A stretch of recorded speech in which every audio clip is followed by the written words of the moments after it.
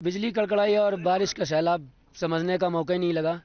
क्या हुआ, क्या नहीं हुआ, पलट के देखा तो बस बारिश ही, पानी ही पानी नज़र आ रहा था और पानी में लोग भी बह रहे थे दो चार छः दक्षिण कश्मीर में स्थित पवित्र अमरनाथ गुफा के पास शुक्रवार शाम बादल फटने के बाद आई बाढ़ में कई लोगों के बहने की खबर है।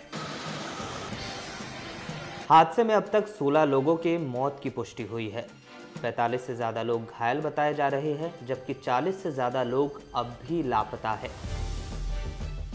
लापता लोगों की तलाश में आईटीबीपी और एनडीआरएफ की टीमें रेस्क्यू ऑपरेशन कर रही है। बीएसएफ की तरफ़ से बताया गया है कि हेलीकॉप्टर से नौ शवों को नीलगढ़ से श्रीनगर ले जाया गया है। वहीं रेस्क्यू ऑपरेशन में अब भारतीय वायुसेना को भी तैनात कर दिया गया है। भारतीय वायुसेना के मुताबिक अमरनाथ गुफा स्थल में बचाव कार्यों के लिए श्रीनगर से दो दो ए एल एच ध्रुव और M I seventeen V five helicopter तैनात किए गए हैं। वहीं दो विमानों को आगे की जरूरतों के लिए चंडीगढ़ में स्टैंड बाय पर रखा गया है। बस बिजली कड़कड़ाई और बारिश का सैलाब समझने का मौका ही नहीं लगा। क्या हुआ, क्या नहीं हुआ, पलट के देखा तो बस बारिश पानी ही पानी नज़र आ रहा था। और पानी में बैग था, लोगों की राउटी बह रही थी, टेंट बह रहे थे, लोग भी बह रहे थे दो चार छः। आठ कैजुअल्टी तो दस मिनट के बाद ही पता चल गई थी हम लोगों को। हर आदमी वहाँ पे भगदड़ मच गई थी, पर आर्मी वालों ने बहुत सपोर्ट किया है। और गुफा के पास से ही पानी इतना सैलाब बहा है कि काफ़ी पंडाल बह गए हैं, पत्थर भी गिरने लग गए थे। फिर मलेटी वाले रोक भी दिया था हम लोग। तब पानी बंद हुआ तो हम लोग निकाला है वहाँ से। माहौल बहुत दर्दनाक था।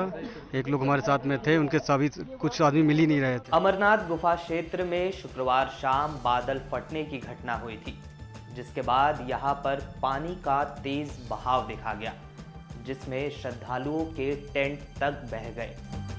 अचानक आई इस बाढ़ के कारण पवित्र गुफा के पास फंसे अधिकांश यात्रियों को अब पंचतरणी शिफ्ट कर दिया गया है। भारत तिब्बत सीमा पुलिस के अधिकारियों के मुताबिक शुक्रवार करीब शाम साढ़े पाँच बजे निचली गुफा में बादल फटा, जिसके तुरंत बाद ही बचाव दल मौके पर पहुँचा। अमरनाथ गुफा के पास जैसी हमें सूचना मिली है, लगभग साढ़े पाँच बजे के आसपास काफ़ी तेज़ बारिश हो रही थी काफ़ी देर से, और वहाँ पर पहाड़ के बगल में जो गुफा है उसी के ऊपर से अचानक से तेज़ पानी आने लगा और नाले का बहुत धीरे धीरे तेज़ होने लगा। जो हमारे सिस्टर एजेंसीज हैं आईटीबीपी है, बाकी सारी एजेंसीज हमने तुरंत अलर्ट किया। पिछले साल भी वहाँ पर एक ऐसी घटना हुई थी जिसमें काफ़ी क्लाउड बस्ट के बाद तबाही जैसी स्थिति पैदा हुई थी। तो इस बार पहले से हम लोग अलर्ट थे, चूँकि इलाका काफ़ी नैरो है। तो वहाँ नीचे की तरफ़ कुछ टेंट भी लगे हुए थे, जिसमें कि कुछ हमारे बलों के भी टेंट थे और उसमें कुछ श्रद्धालु भी थे। तो उनको वार्न किया गया, उनको अलर्ट किया गया और within ten to fifteen minutes काफ़ी लोगों को वहाँ से निकाला गया, जिससे काफ़ी लोगों को हम बचा सके हैं, वहाँ पे निकाल सके हैं। काफ़ी सारे टेंट बह गए हैं, एग्जैक्ट नंबर मेरे पास अभी नहीं है, लेकिन तुरंत ही हमारी जो फोर्सेस थी, उन्होंने अपना रेस्क्यू ऑपरेशन शुरू कर दिया था। आईटीबीपी की दो कंपनियाँ और साथ ही साथ बाकी सारी जो हमारी फोर्सेस हैं, उसमें एनडीआरएफ है इंडियन आर्मी है जम्मू कश्मीर पुलिस है उनके साथ लगातार हम लोग कोऑर्डिनेशन में काम कर रहे हैं। और अभी फ़िलहाल स्थिति यह है कि बारिश थोड़ी कम हो गई है पहले से। पानी का प्रवाह लेकिन अभी उतना ही है। कुछ पुष्टि नहीं हुई है, लेकिन फ़िलहाल हम ये देख पा रहे हैं कुछ लोगों को नदी से निकाला गया है बहते हुए। डाउनस्ट्रीम में भी चेक कर रहे हैं और कोशिश ये है कि ज़्यादा से ज़्यादा लोगों को बचाया जा सके। वही तेलंगाना के बीजेपी विधायक टी राजा सिंह के इस हादसे में बाल बाल बचने की खबर है। खबरों के मुताबिक परिवार समेत अमरनाथ यात्रा पर गए टी राजा सिंह शुक्रवार की शाम अचानक बादल फटने की घटना में बाल बाल बचे। राजा सिंह और उनके परिवार के सदस्य एक हेलीकॉप्टर से अमरनाथ पहुँचे थे।